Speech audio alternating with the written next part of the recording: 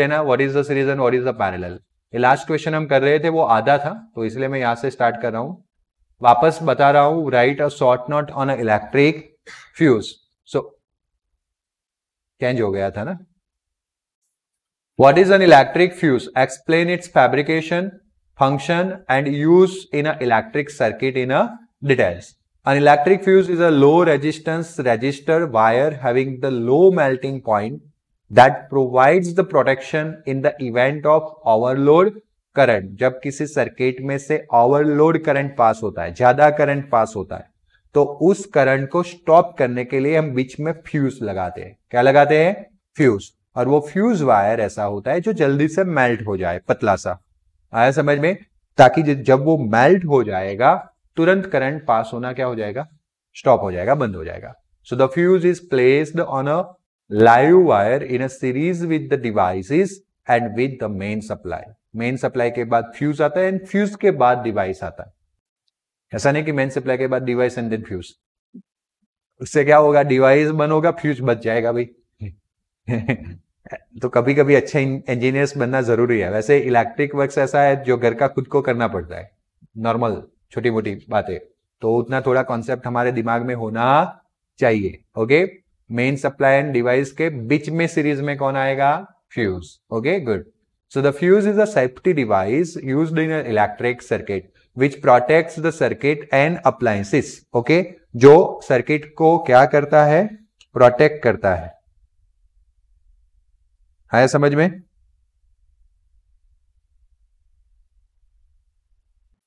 Okay now by stopping the flow of any unduly high electric current कोई भी unduly high electric current है, उसको वो क्या करेगा?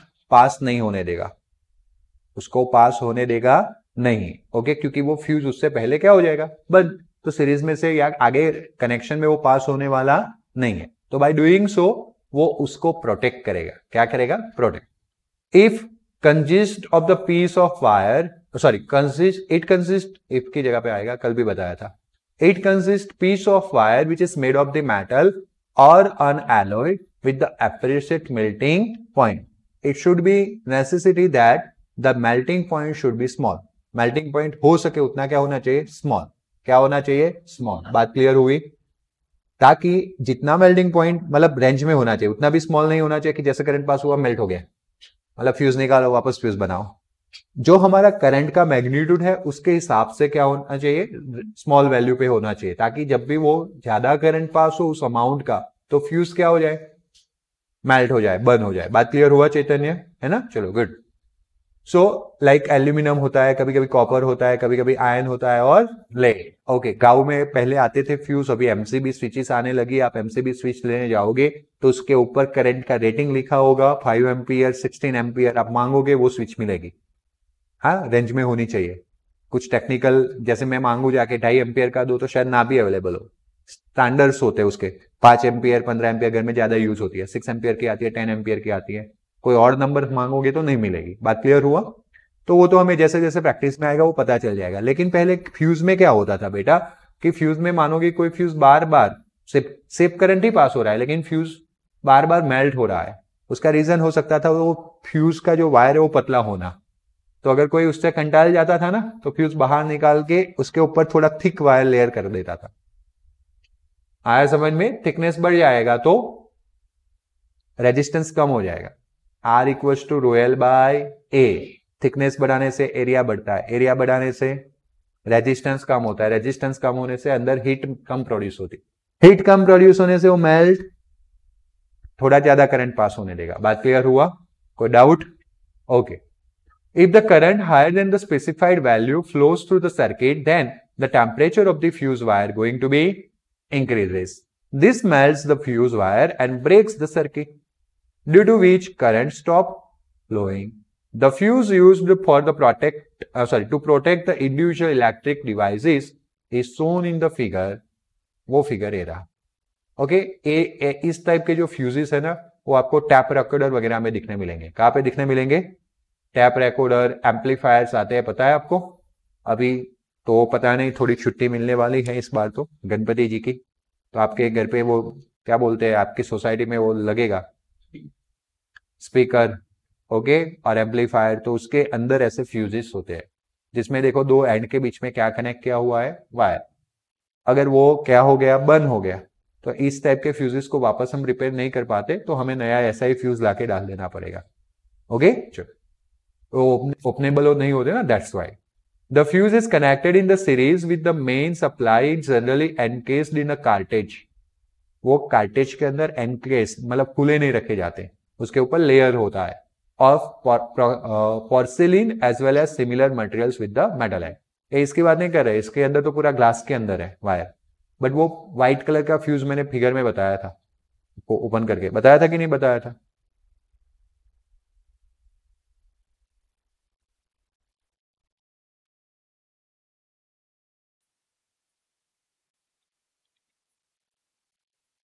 दिख रहा है व्हाइट कलर का? आया ना? ये मेन होता है मेन सप्लाई के साथ इसको ज्वाइन किया जाता है पहले। ए चीज़ को। गॉड इट और ए वाला जो है ना, उसके अंदर वायर होता है बीच में, यहाँ से लेके यहाँ तक। जब उसको इसके ऊपर फिट कर दिया जाएगा तो कनेक्शन बैठ गया, उस एंड से लेके उस एंड करंट पास होने लगेगा। आया समझ में? तो पूरा एंक्लोज हो गया कि नहीं? ये नए है ग्लास में बनाया गया है। पहले ये मैकेनिज्म आता था। तो ये जो फ्यूज अगर आप गूगल पे सर्च करोगे ऑनलाइन स्टूडेंट्स को नहीं दिखेगा। तो गूगल पे सर्च करोगे तो फ्यूज का फ़ोटो दिखेगा। जो व्हाइट कलर का लेयर था ना, वो पॉर्सिलिन टाइप का मटेरियल होता है।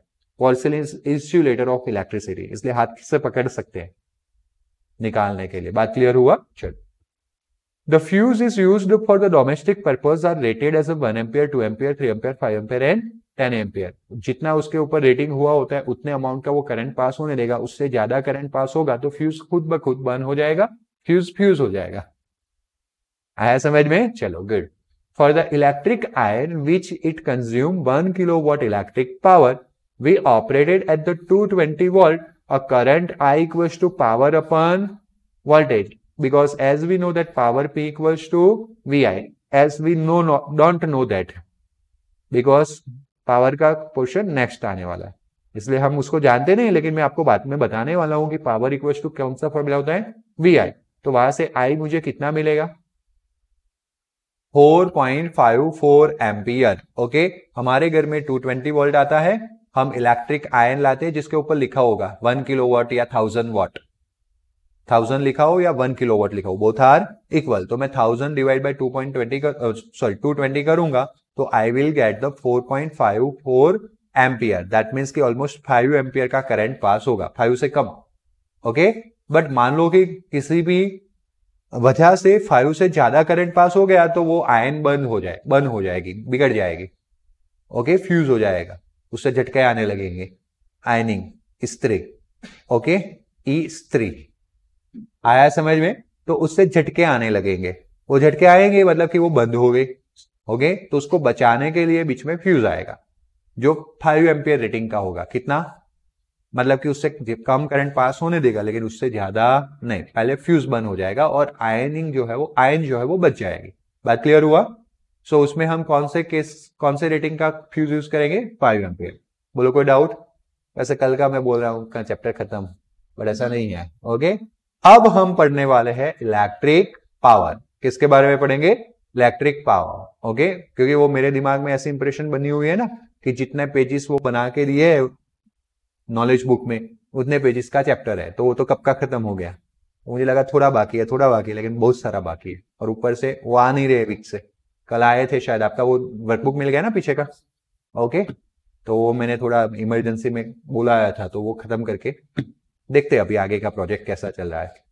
ओके क्योंकि आगे का आपका एक प्रोजेक्ट मैंने कब का बोल दिया था? फिफ्टीन अगस्त वाला। वो रक्षाबंधन हुआ बट लेकिन वो वीक आया नहीं। और ऊपर से हमें सप्लीमेंट्रीज भी आपको देनी है।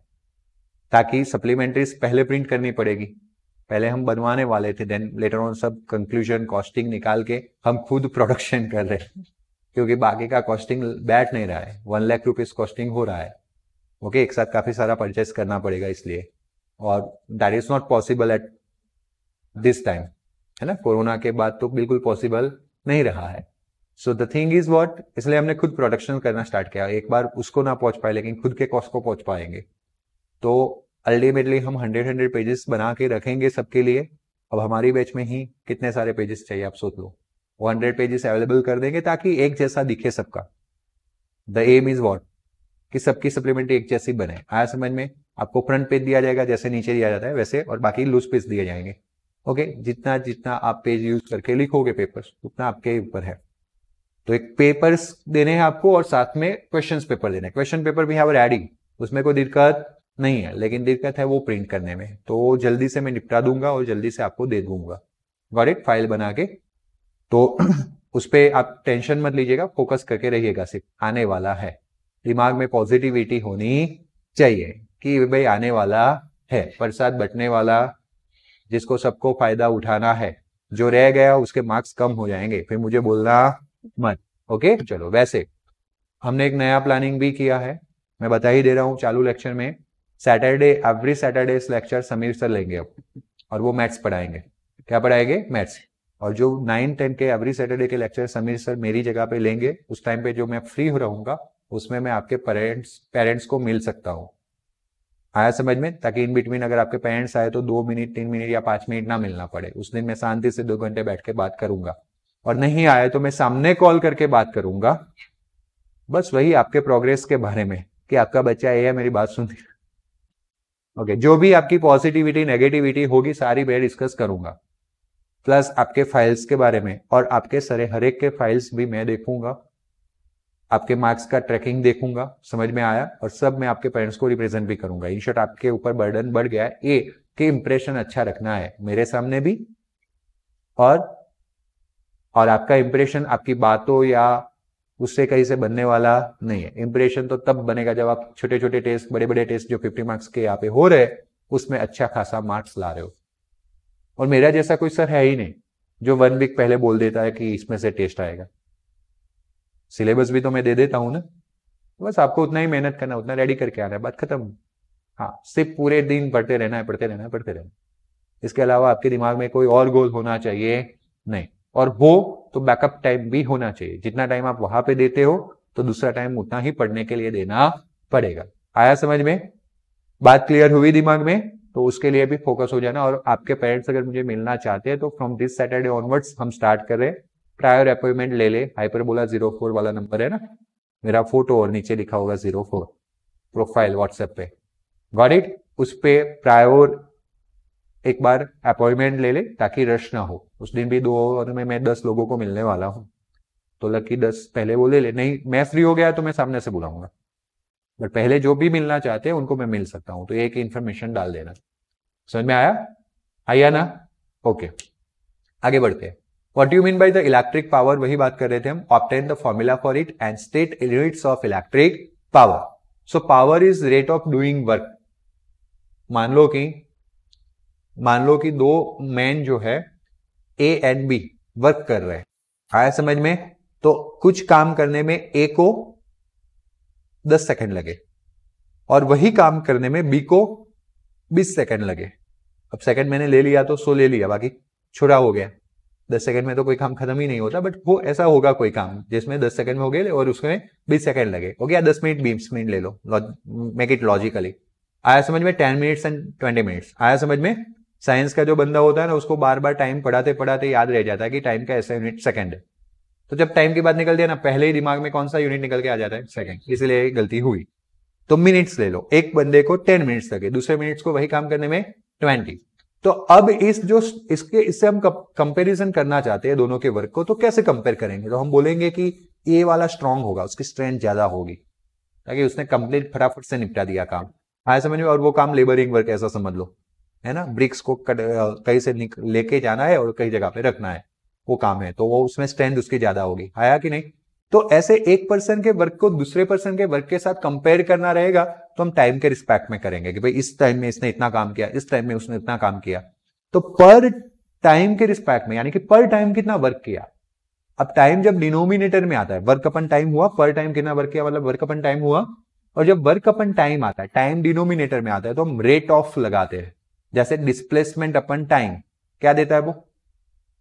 What is the displacement upon time velocity तो आपने वेलोसिटी का डेफिनेशन नाइन्थ में ऐसा लिखा होगा रेट ऑफ़ डिस्प्लेसमेंट टाइम जब नीचे आता है तो हम क्या लिख लेते हैं? रेट ऑफ़ डिस्प्लेसमेंट तो work upon time rate of work और इस क्वांटिटी को फिजिक्स में पावर बोलते हैं।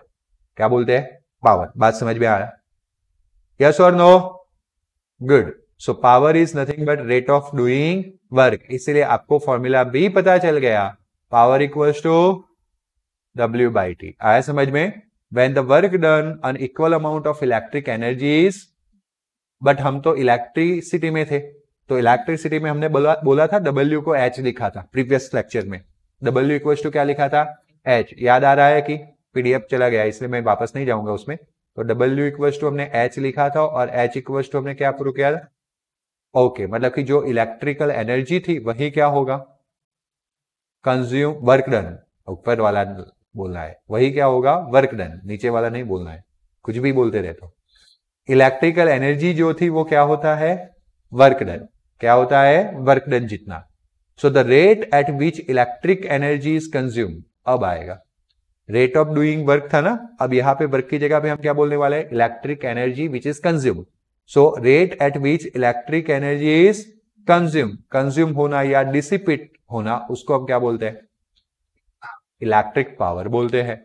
If W is the amount of electrical energy consumed in the circuit in a time T second then electric power is W by two W by T sorry और यहाँ पे इस W को work done ने ऐसा बोला है कि, क्योंकि हमें पता है वर्कडन यानी इलेक्ट्रिक एनर्जी कंज्यूम तो इसीलिए हम डब्ल्यू को क्या बोल रहे हैं? इलेक्ट्रिक एनर्जी कंज्यूम बात क्लियर हुई सबको? है या ना? Okay but the electric energy आपको पता है ना? जो हमने कल प्रूव किया था। पता है डब्ल्यू को? वी इंटू क्यू फिर याद आ रहा है? V equal to I I upon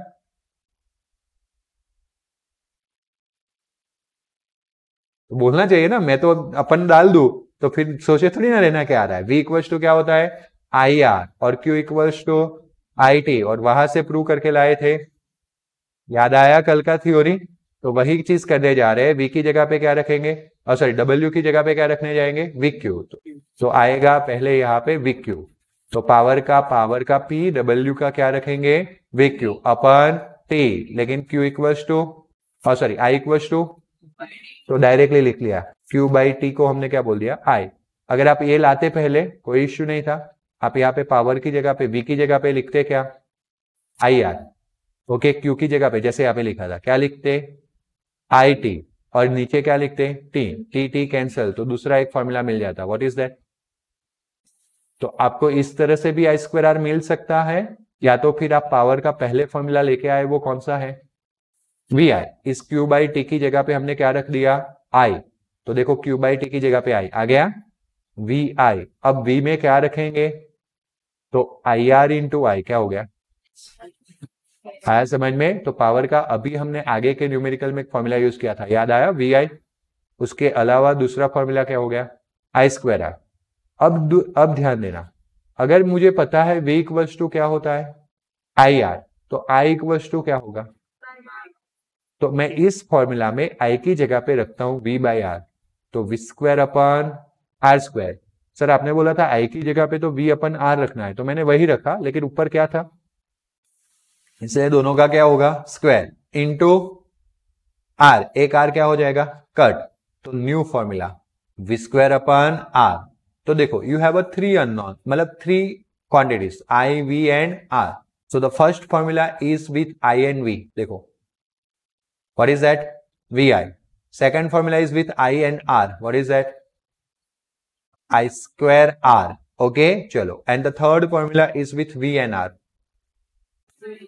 हर एक पैर में आपको एक फॉर्मूला मिलके आ गया यस और नो बट मैं बोल रहा हूँ कि अगर आपको सिर्फ़ वी आई वाला चीज़ याद रहता है ना तो ओहम स्लो अप्लाई करके V equal to I R apply करके आपने डिराइव किया और उसमें भी वापस ओहम स्लो अप्लाई करके I equal to V by R apply करके आपने ये फॉर्मूला डिराइव किया तो आपको हर एक फॉर्मूला याद रहे ऐसा ज़रूरी नहीं है वैसे वो प्रैक्टिस के साथ याद रह ही जाएगा power P equal to V I power P equal to I square R power P equal to V square upon R but कुछ भी ना हो तो एक फॉर्मूला तो याद रखना ही है। कोई भी I square I square R ज़्यादातर ज़रूरत रहती है आई स्क्वायर याद रख लो या वी आई याद रख लो। आया समझ में? बार बार इसकी ज़रूरत नहीं पड़ती है वी स्क्वायर अपन आर की। बराबर? बट फिर भी एक में से दूसरे में जाना हो तो ओहम स्लो इज़ दैट है ना? मानो कि मुझे वी आई था, उसमें आई नहीं चाहिए था तो मैंने ओहम स्लो से आई को सॉरी वी आई था, उसमें वी नहीं चाहिए था तो मैंने ओहम स्लो से वी को क्या लिख दिया? जैसे मैंने आई आर पुट किया स्क्वायर आर हो गया। गॉट इट ना? तो इस तरह से हम फॉर्मूला जो है, उसका कन्वर्जेंस कर सकते हैं। बोलो, कोई doubt okay again from the Ohm's law I equal to क्या होगा? वी अपन आर तो वैसे मैंने ये करवा दिया वी स्क्वायर बाय आर ऐसा unit of electric power is watt okay James Watt जिन्होंने सबसे पहले स्टीम इंजन ढूंढा था। क्या ढूंढा था? छुक छुक छुक छुक छुक छुक गाड़ी का स्टीम इंजन ओके और उनकी वो इनोवेशन से आज व्हीकल्स बने बात क्लियर हुआ? तो उनके ऑनर में हम वॉट बोलते हैं। क्या बोलते हैं? वॉट और मैंने ऑलरेडी आपको बताया है कि whenever the unit is in the with the reference of name of scientist उसका पहला लेटर कैपिटल तो डब्ल्यू कैपिटल है। दिखा? यस और नो तो W equals to I R में ए डब्ल्यू मतलब sorry W equals to V Q में ए डब्ल्यू क्या है? बस कर दी ना गलती। वर्क डन है। क्या है? Work done and this is the magic of physics एक डब्ल्यू दो दो बार तीन तीन बार कहीं ना कहीं यूज़ होगा। यू हैव टू रिमेंबर कि आप किस, किसके साथ कैसा काम कर रहे हो। आया समझ में? लगेगा मंथन। ओके हर एक ए अमित का नहीं होता है। बात समझ गए? तो आपको देखना है सिचुएशन के हिसाब से। बोलो भाई, बात क्लियर हुई? यहाँ पे वर्क डन का फॉर्मूला इसे ए डब्ल्यू वॉट नहीं है। ओके अब मैं लिखू power equals to to W तो वो यूनिट में आ गया। और यूनिट में आ गया तो वो क्या बन जाएगा? वॉट बात क्लियर हुई ना? फिजिक्स में आधे से ज़्यादा बच्चे यहाँ पे फंस जाते हैं, जो हमें नहीं फंसना है।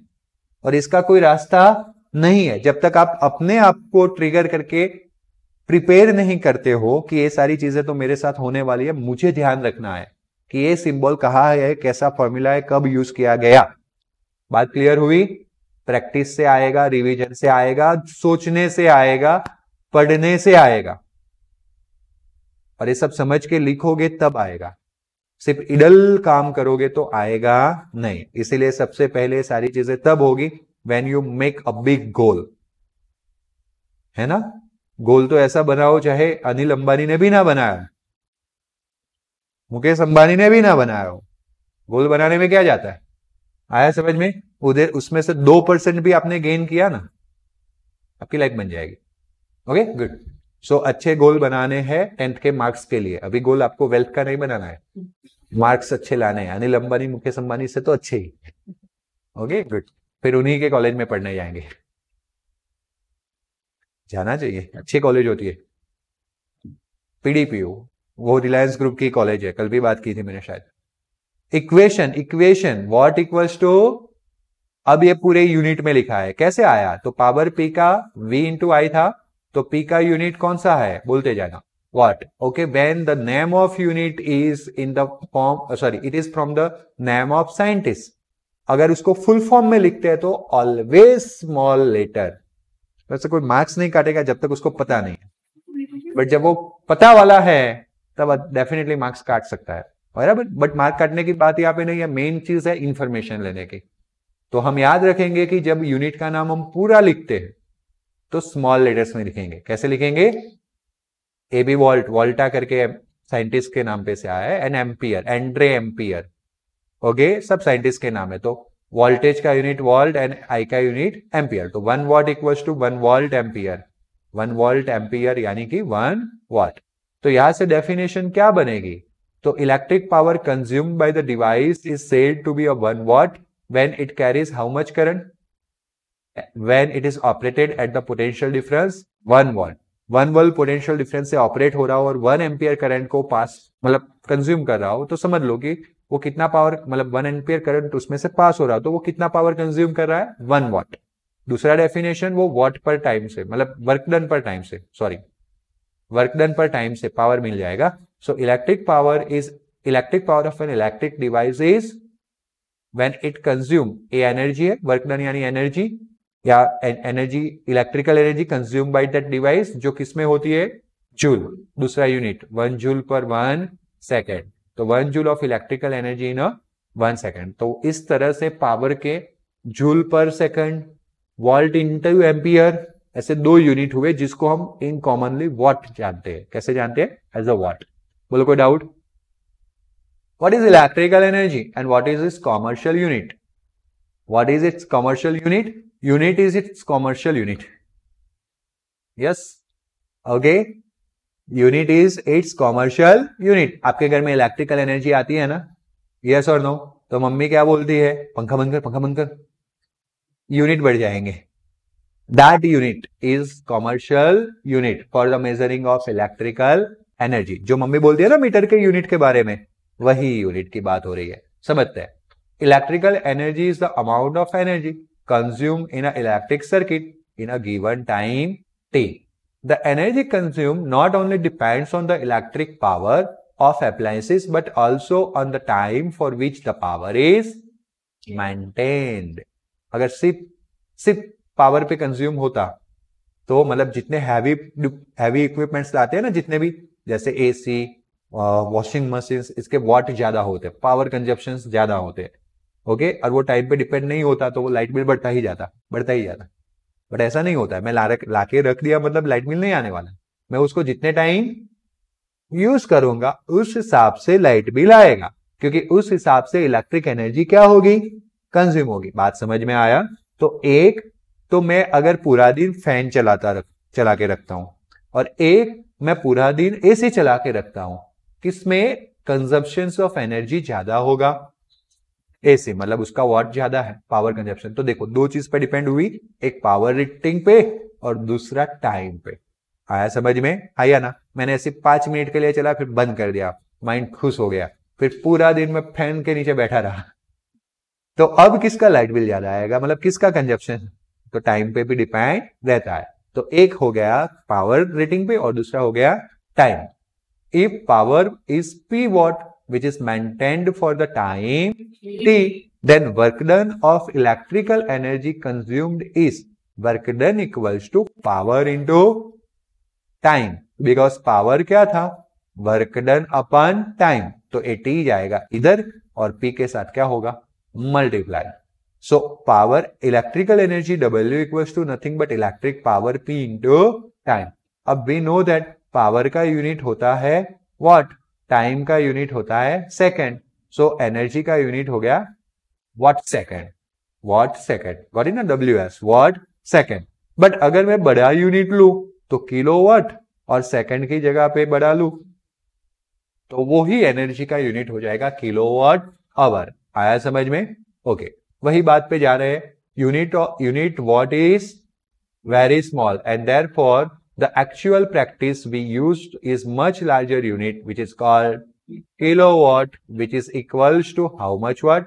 1000 watt. Since the electric energy is the product of power and time, so the energy, electrical energy is therefore watt hour. देखा था ना हमने अगर किलो ले तो किलो वाट आवर सिर्फ़ वॉट ले तो वॉट आवर आया समझ में ओके okay, बट इन लोगों ने सिर्फ़ अभी वॉट लिया है एंड देन क्या लिया है आवर तो हम वही रहने देते और डेफिनेशन भी वन वॉट आवर का ही है one watt hour is energy consumed one watt power for the how much hour one hour but commercial practicals में हम तो कितना ज़्यादा एनर्जी यूज़ करते हैं? वॉट में नहीं करते। वॉट किलो वॉट्स में करते हैं। किसमें करते हैं? किलो वॉट्स में। And so one kilo watt hour हम यूज़ करते हैं। किलो कॉमर्शियली हम जो यूज़ करते हैं वो एनर्जी का यूनिट कौन सा है? किलो वॉट आवर वही वन किलो वॉट आवर को हम क्या बोल देते हैं? लंबा पड़ता है ना? वन किलो वॉट आवर कितना लाइट बिल आया? अरे साहब, क्या बताऊ, तीन सौ किलो वॉट आवर आया। सामने वाला सर जाएगा ए क्या मतलब तीन सौ यूनिट आया। अब तीन सौ यूनिट बोलू तो उसको कैसे समझ में आ जाएगा? क्योंकि किलो वॉट आवर लंबा बन जाता था। तो उसको हमने क्या बोल दिया? वन किलो वॉट आवर यानी कि वन यूनिट। बात समझ में आया? अब ये अगर आपने घर में, अपने घर में वन यूनिट एनर्जी कंज्यूम किया, इसका मतलब आपने कितना एनर्जी कंज्यूम किया? फिजिक्स साइंस तो हमें ऐसा बताता है कि एनर्जी का यूनिट तो जूल है। क्या है? Watt second. जूल या बोल लो या वॉट सेकेंड बोल लो। Got it? ऐसा यूनिट। तो हमें पता होना चाहिए ना कि one kilo watt hour as a students of science, as a students of tenth, हमें पता होना चाहिए कि one kilo watt hour one unit में कितना जूल होता है। तो उसी पे काम करते हैं। वन किलो वॉट यानी, वन किलो वॉट आवर यानी one kilo watt into kilo watt को वॉट में कन्वर्ट करो। थाउज़ेंड आवर को सेकेंड में कन्वर्ट करो। Sixty into sixty. Sixty minute one hour में होते हैं और एक मिनट में सिक्सटी सेकंड होती है। तो sixty into sixty how much three six double zero तो यहाँ से मैंने तीन पॉइंट निकाल लिए यहाँ पे पॉइंट रख दिया। तो तीन ज़ीरो यहाँ से निकलेंगे। और एक तीन टोटल कितने हो गए? सिक्स मतलब three point six cross ten to six watt second और वॉट सेकंड को क्या बोलते हैं? आपने एक यूनिट बंद किया मतलब कि आपने 3.6 cross ten to six joule energy use किया। ओके टेन टू सिक्स मतलब million 3.6 million joule energy use किया। आया समझ में? इतना सारा एनर्जी यूज़ करने के बाद एक यूनिट लाइट बिल आता है, और जिसका चार्ज ऑलमोस्ट सेवन रुपीज़ है। सिक्स टू सेवन ओके चलो। एंड बहुत ही ज़बरदस्त लूटिंग भी होती है। मतलब उसमें स्पेसिफिक कंडीशंस होती है कि अप टू 200 कम होता है फ़ैन 200 से ज़्यादा यूज़ करे तो ज़्यादा होता है और ये सब चलता रहता है। ओके चलो, कोई बात नहीं। अभी कुछ मेरे सुनने में आया है कि अब इलेक्ट्रिसिटी का पैसा अब हम बाद में देते हैं। कैसे देते हैं? बाद में। कंजप्शन करने के बाद पैसे देते हैं हम। अब आएगा प्री रिचार्ज मतलब आपने मतलब इसमें बहुत घोटाले होते थे ना, ये भी आज भी हमारा, खास करके गुजरात की बात करें, और उसमें भी Madhya Gujarat Vij company limited MGVCL की बात करें तो डूबा हुआ है। जितना वो खर्चा कर रहा है, उतना उसको लाइट बिल नहीं मिल रहा है। एसेंशियल सर्विस में आ रहा है, इसीलिए गवर्नमेंट के रेट्स लगते हैं, कम, ज़्यादा चार्ज नहीं ले सकते। बट मेंटेनेंस इज़ देयर ना, बीच में एक दिन गायब चली गई थी लाइट। फिर करना पड़ता है, ऐसे मेंटेनेंस तो है ना, उसके लिए खर्चा पानी होता है। बात समझ में आ रहे हैं? और ऊपर से लोग चोरी करते हैं इलेक्ट्रिसिटी की। पहले ओल्ड मीटर से तब तो चोरी होती रहती थी। मीटर को बाईपास कर देते थे, इसलिए मीटर्स में रीडिंग नहीं बढ़ते थे एनर्जी यूज़ हो जाती थी। ऐसा सब कुछ होता आपने सुना होगा। आया ना? अभी तो डिजिटल मीटर्स आ गए अभी होता क्या है, लोग लाइट बिल भरने ही नहीं जाते। और फिर केस होता है और ऐसे करके कुछ ना कुछ जुगाड़ होके निकल जाता है। तो ऐसे काफ़ी सारे केसेस है। काफ़ी 90 परसेंट लोग जेन्यूअल है, लेकिन 10 परसेंट लॉस करवा रहे हैं। आया समझ में? तो मैंने ऐसा पढ़ने में आया है आर्टिकल्स में कि अब प्रीपेड मीटर्स लगेंगे। मतलब रिचार्ज करवाओ लाइट्स यूज़ करो। जैसे आप मोबाइल्स में रिचार्ज करवाते हो and then you will talk full month आप रिचार्ज करवाओ और लाइट यूज़ करो। आना ही चाहिए। गॉट इट चलो, कोई बात आएगा आएगा आएगा। है ना? The unit kilowatt hour is equals to the electrical energy consume when electric power is one kilowatt it is consume for one hour तब उसको वन किलो वॉट आवर बोलते हैं। वॉट सेकेंड जैसा ही है। वॉट आवर जैसा। Watt hour का भी देखा था। One one watt for one hour then energy consume is one watt hour अगर वन आवर में थाउज़ेंड वॉट यूज़ हो गया, यानी वन किलो वॉट यूज़ हो गया तो वन किलो वॉट आवर आया समझ में? इसका मतलब क्या है कि आपके घर में हंड्रेड वॉट का बल्ब है। हंड्रेड वॉट का बल्ब आता था, पता है आपको? येलो कलर का जो आता है, वो हंड्रेड वॉट का होता है। ये सारे अब लो कंजप्शन वाले जितने भी एलईडी है, वो लो कंजप्शन है। ये जो ऊपर लग रही है ना, वो ट्वेंटी ट्वेंटी वॉट की ही। है ऑलमोस्ट जितना मेरा नॉलेज है ये ट्वेंटी नहीं थर्टी सिक्स वॉट की है। कितने वॉट की है? थर्टी सिक्स तो वो थर्टी सिक्स के कितने लगे हुए अभी? चार चालू है। तो थर्टी सिक्स इंटू फोर कर लो। Almost one twenty one forty four okay एक कम कर दो। तो थ्री तो ऑलमोस्ट हंड्रेड आ जाएगा। अब ये तीन लाइट को मैं, तीन लाइट को मैं एक आवर तक चालू रखू। कितने? तो समझ लो वन यूनिट बढ़ गया। कितना बढ़ जाएगा? नहीं my mistake my mistake my mistake my mistake क्योंकि मैंने बोला वो तो एवरेज हंड्रेड होने वाला है ना? और मैंने वन आवर तक रखा। कितने वो? बट मुझे कितने तक रखना पड़ेगा? टेन तो वो थाउज़ेंड वॉट आवर हुआ। थाउज़ेंड वॉट आवर यानी कि वन किलो वॉट आवर मतलब कि मैं तीनों तीनों लाइन को लाइट को दस घंटे चालू रखता हूँ। तो मेरा लाइट बिल कितना यूनिट जनरेट होगा? ओके हाँ. वन हाँ तो इसीलिए तो 200 300 लिमिट में आता है ना। हज़ार का फटके नहीं आता है बिल, भाई। ओके तो दूसरी तरह से अंदर के एग्ज़ाम्पल से सोचे तो 100 वॉट के 10 इलेक्ट्रिक बल्ब को यानी कि 10 इंटू हंड्रेड कितना हो गया? थाउज़ेंड एक साथ में एक घंटे के लिए चालू रखूँगा तो thousand into one hour one kilowatt hour हो गया, तब जाके वन यूनिट कंज्यूम होगा। आया समझ में? इस तरह से हर एक इलेक्ट्रिक इक्विपमेंट्स की रेटिंग होती है। और वहाँ से हमें पता भी चल सकता है कि इलेक्ट्रिसिटी कितना कंज्यूम होगा। बात क्लियर हुआ? यस और नो अब आपको बोलेंगे ना कि एनर्जी सेविंग इक्विपमेंट्स है, ऐसा बोलेंगे। इलेक्ट्रिकल इक्विपमेंट्स कैलकुलेट सॉरी खरीदने जाओगे तो। तो उसका पावर रेटिंग कम होगा। क्या कम होगा? पावर रेटिंग ओके तो आपको पावर को भी देखना चाहिए। किसी जगह पे पावर की बहुत ज़रूरत होती है, जैसे फ़ैन पावर कम हो जाएगा तो स्पीड कम हो जाएगी। तो कम पावर वाले लाके भी क्या करोगे? बात समझ में आया? तो एक पर्टिकुलर पावर्स पे आपको जाना है। तो अगर आपको कोई ऐसा बोल रहा है कि पावर आपका एनर्जी सेव करके देगा तो आपको दो कंपनी को कंपेयर करना है। बोलना है, इसका पावर है, उतना ही पावर है और एनर्जी कम यूज़ हो रही है। तो अब वो पता चल जाएगा सारा ये तो पढ़ा हुआ है। इसको चुना लग सकता। समझ में आया? जो पढ़ते हो, कहा यूज़ करना है। मेरे पे नहीं। हाँ good so are the electrons consumed in the electric circuit electric circuit में क्या इलेक्ट्रॉन कंज्यूम होते हैं? तो ना okay electrons are not consumed in electric circuit we pay electricity board और electric company to provide electrical energy नहीं कि वो इलेक्ट्रॉन हमें प्रोवाइड करते हैं ओके वो हमें इलेक्ट्रॉन्स प्रोवाइड नहीं करते। जैसे कि मानो कि टीवी है तो टीवी में दो पिन होती है। केबल निकलता है ना, उसमें दो वायर होते हैं। जब हमने उसको बोर्ड में ऐड किया तो उस बोर्ड के पास इलेक्ट्रिकल एनर्जी थी। एक वायर से इन जाएगा और दूसरे वायर से निकल जाएगा तो इलेक्ट्रॉन को रिवर्स पाथ मिलता है। आया समझ में एक लाइव वायर होता है और एक न्यूट्रल न्यूट्रल में से करंट बैक जाता है और लाइव में से पास होता है। बात समझ में आया?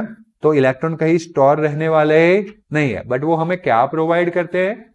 एनर्जी जीबी बोर्ड हमें क्या प्रोवाइड करता है? इलेक्ट्रिकल एनर्जी नहीं कि electron okay good so electric company providers electric energy to move the electrons through all the electric gadgets like electric fan like electric bulb refrigerator installed in our homes and so we paying for electrical energy which we are using आया समझ में?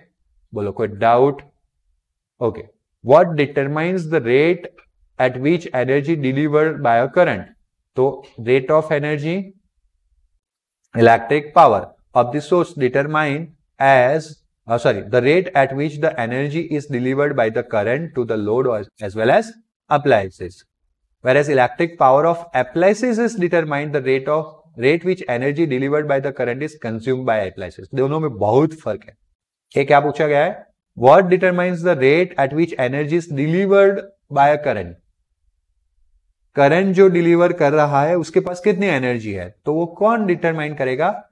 Electric power of source नहीं कि appliances ग्रेजेट का power नहीं source का power okay determine the rate of energy which is delivered the delivered by the current to load या तो फिर अप्लायंसेस बट अगर आपको पूछा है कि elect uh, what determines the rate which energy by appliances okay appliances का जो रेट ऑफ़ एनर्जी है वो कौन डिटरमाइन करेगा? तो अप्लायंसेस का इलेक्ट्रिक पावर देखो electric power of appliances determine the rate at which energy delivered by the current that consume by appliances कौन से रेट से वो करंट जो एनर्जी डिलीवर कर रहा है वो कंज्यूम होगा?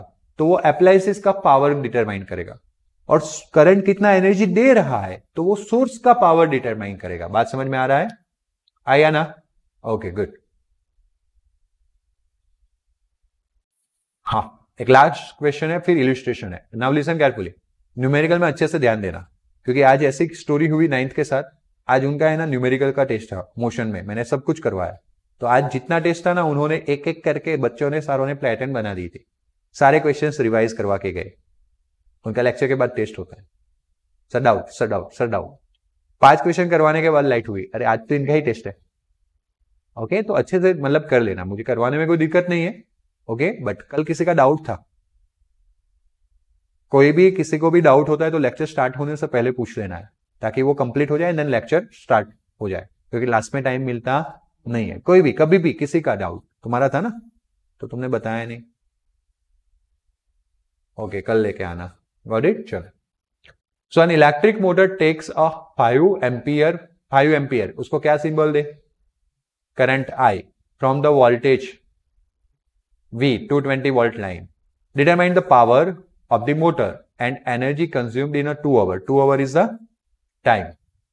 So power P equals to VI. So V into I. 220 into 5. How much? 1100 watt. यानी 1100 जूल पर सेकंड, सिर्फ़ वी आई करना था। और दूसरा क्या था? एनर्जी कंज्यूम एनर्जी कंज्यूम को हम वर्क डन भी बोल सकते हैं। और वर्क डन एक बार हमने पावर फाइंड कर लिया तो पाई पी इंटू क्या बोल सकते हैं? टी क्योंकि आपको पता है power equal to W by T यही वर्क डन को हम एनर्जी कंज्यूम बोलते थे। तो पी इंटू टी हो जाएगा। तो पी इंटू टी यूनिट बाद में लिखेंगे लास्ट में। तो ये दोनों का मल्टीप्लीकेशन दो ज़ीरो दो ज़ीरो टोटल कितने ज़ीरो इलेवन टू सा twenty two carry two, eleven seven सा सेवेंटी सेवन इंटू एक, दो, तीन, चार, पाँच, छ। गॉट इट आया समझ में? बोलो कोई डाउट ओके ए जूल में फाइंड करना बहुत ही अच्छी बात है, क्योंकि जूल इज़ द ऐसा यूनिट बट फिर भी माइंड में दूसरी बात भी इंस्टॉल होनी चाहिए, कि भाई हम इलेक्ट्रिकल पावर गिन रहे हैं, या इलेक्ट्रिकल एनर्जी गिन रहे हैं। और इलेक्ट्रिकल एनर्जी के लिए कॉमर्शियल यूनिट तो कौन है? किलो वाट आवर तो फिर आप पी इंटू टी करोगे again thousand watt into two hour लिखा तो मतलब eleven hundred watt into two hour लिखा तो eleven hundred into two how much twenty two hundred watt hour मैं अगर एक्स को थाउज़ेंड से डिवाइड करूँगा मतलब एक, दो, तीन पॉइंट आगे जाके टेन रेस टू थ्री लिख दू तो ten raise to three watt क्या हो जाएगा? किलो तो 2.2 यूनिट यूज़ हुआ। हम दोनों में कैलकुलेट करेंगे, और नहीं रखेंगे, ताकि मार्क्स कटने के बिल्कुल चांसेस रहे नहीं। जिसको जुल में चाहिए जुल में क्लियर कर लेगा। सामने वाले को देखना है। हमने तो कैलकुलेट करके रखा है ना। और जिसको किलो वॉट आवर में चाहिए। किलो वॉट आवर लिखा भी है ना तो साथ में हम लिख भी देंगे कि 2.2 यूनिट यूनिट क्या? ओके 2.2 यूनिट गॉट इट ना? चलो, बोलो।